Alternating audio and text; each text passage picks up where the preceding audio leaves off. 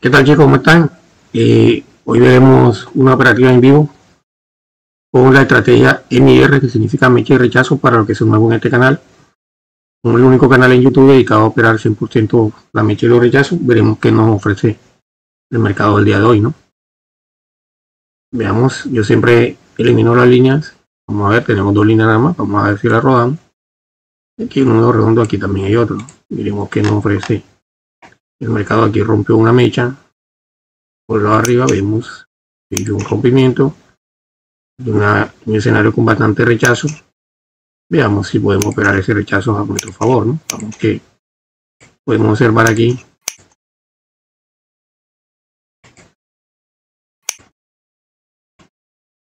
siempre coloco en amarillo los nuevos redondos entonces en una zona de bastante rechazo hay un gas bajista aquí y el precio me está mostrando fuerza a la baja.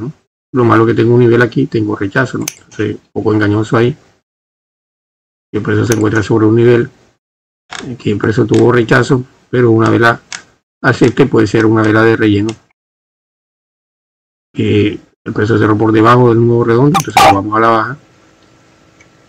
Porque tengo aquí en este escenario, bien la vela pueda rellenarme la vela eh, alcista, pero para mí la considero una vela débil y aquí un nivel fuerte. Sobre un nuevo redondo, porque el precio de aquí bajó hasta este escenario, subió, fue rechazada la vela anterior, pero con un cuerpo pequeño por debajo del nivel, me da a entender que es una buena entrada.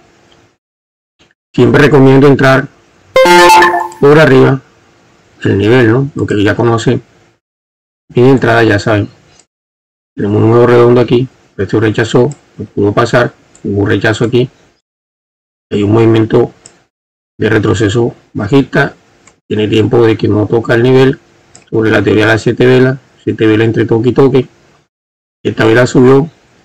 Entran los compradores. Pero los vendedores responden y hacen que el precio cierre por debajo. Ingreso por arriba del nivel. Y tenemos dos de las 4 R la estrategia de las cuatro de rompimiento y reteteo.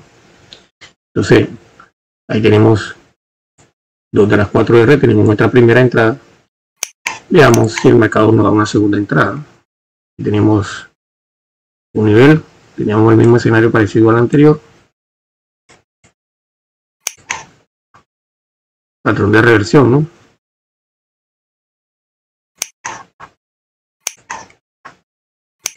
Y el mercado tiene de las doy la vela anterior hizo un mínimo más bajo pero esto sobre un movimiento alcista ¿no? aquí está sobre un número redondo pero la vela cerró con una vela sin mecha ¿no? tengo tres velas verdes el precio gira aquí tengo cuatro yo puedo sobre un nivel veamos qué hace el precio ahí ¿no?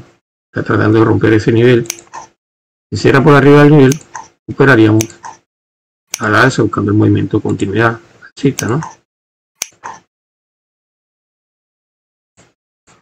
Si cierra por debajo, vemos que hace el precio. Aquí hay un número redondo. Pero se está tratando de romperlo porque anteriormente hubo un rechazo con el lote alcista. O sea, las dos velas verdes anteriores, ¿no? Aquí. Esto cerró justo ahí. Veamos que hace el precio en ese nivel, ¿no? Ahí tenemos una zona de rechazo, que por debajo hay una mecha en la vela alcista. Pues ahí tenemos, vamos hacia atrás que tenemos, aquí también hay una confluencia y hay una mecha de una vela verde, ¿no? Una zona bastante fuerte y polarizada, vamos a operar a la alza, porque tengo aquí, el precio me está mostrando un nivel muy fuerte, el precio aquí tenemos velas doji de este lado esperemos que el precio repete ese nivel no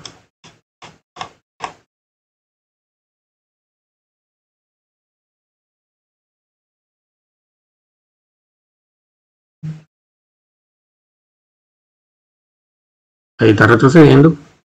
Es importante tener calma y en lo que hacemos ¿no? entonces ¿por qué ingresamos aquí nuevamente les explico, ¿no? Aquí tengo una zona polarizada, aquí estoy como resistencia, resistencia, una gris sin color muy fuerte, resistencia, resistencia, resistencia. Actuó como resistencia, vuelve a actuar resistencia aquí, aquí esto como resistencia, lo rompe, actúa como soporte, como soporte, como soporte, como soporte. Espero que la entrada que yo hice también actúe como soporte. Porque hasta el momentico en una zona polarizada, pero siempre por debajo del nivel, igual que lo hicimos eh, en la primera entrada, ¿no? Entonces esa sería nuestra segunda entrada. Y miraríamos si el mercado nos da una tercera entrada. Entonces miremos cómo operamos fácil con una estrategia MIR, no tenemos que durar 40 eh, minutos, 50 minutos, una hora, hora y media para ingresar una operación, esperar que el precio llegue a cierta zona de oferta y demanda, poner una alarma ahí, no necesitamos de eso, simplemente operamos de una forma más rápida. Tenemos un movimiento alcista, no me da mucha confianza, esa vela no tiene mucha fuerza. Aquí el precio me rompió, cerró por arriba del nivel. Podríamos tener un movimiento alcista, buscando por lo menos ahí un punto para irnos al alza y buscar un rechazo. No me da mucha confianza, así que la dejamos pasar.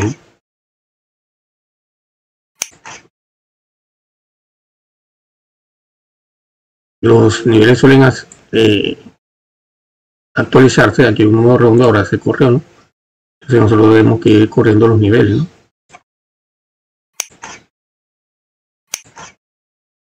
Hizo el rechazo, pero más abajo, no ha pasado nada. Ya reaccionó. Nosotros simplemente esperamos con calma, ¿no? Hubiera ganado la operación, sí, pero no digo que estamos esperando en el comienzo, simplemente esperamos, ¿no? Aquí hay un gas bajista. Esperamos que el precio llegue a reaccionar con una punta de la mecha, o por lo menos con la entrada ahí esa vela y nos vamos a la baja, ¿no? Esperamos que esta vela no quede con un rechazo, poniéndola en la apertura de la vela anterior, ¿no? La vela posiblemente quede alcista, pero nosotros no operamos en base al color de vela, nosotros operamos en base al punto de entrada, ¿no? Entonces, cuando nosotros operamos en base al punto de entrada y no hay color de la vela, somos traders rentables.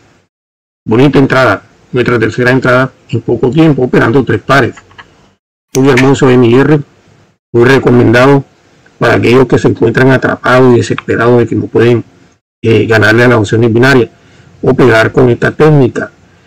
La mayoría de los gráficos siempre van a dejar mechas y eso nos da la oportunidad de ganar con mayor eh, con mayor eh, con mayor probabilidades porque no me importa el color de la vela. ¿Cuál era mi punto de entrada? En base a lo que estaba haciendo, expliquemos un poco aquí lo que yo intenté hacer. Eh,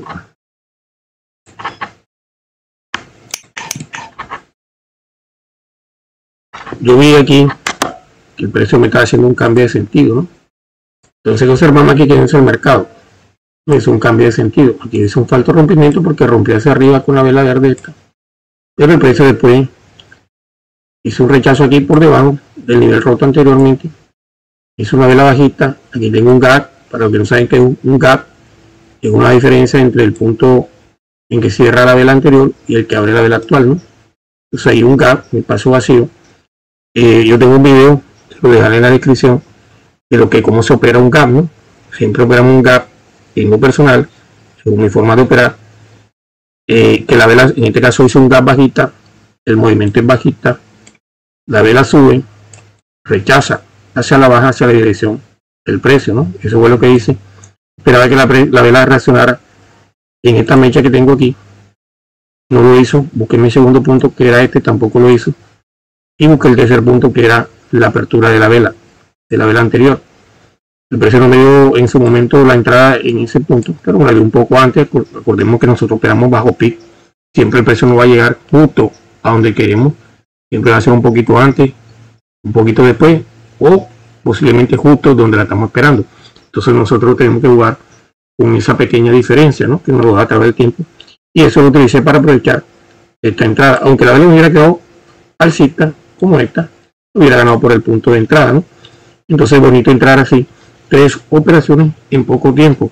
300 dólares para un país latinoamericano es siempre una cantidad considerable, ¿no?